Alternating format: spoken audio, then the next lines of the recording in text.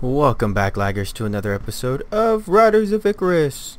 And before we get started I would like to apologize because I was looking at some of my videos today and some of them don't have audio which can be a little frustrating because I like I think it was my dragon glitch video where I was saying I've been having some like issues with my audio. I guess something with my uh, what is it like shadow play from Nvidia it, it wasn't working properly so I don't know what was going on with it.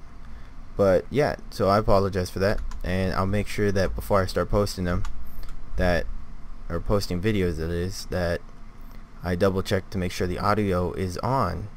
So then you can hear my lovely voice. So anyways to get to what I wanted to show you guys today. So I haven't been able to play in like a day or so. Just been busy with my baby and all that jazz. But I got an Elite Hakanas Mark box and I've been wanting to see what I get. So I wanted to share my experience of getting something with you guys. So let's see. I'll right click it and I got a blood duster so cool. I already have one. Come on something good. Come on something good. Oh cool I got an evoke. Cool I don't have that one.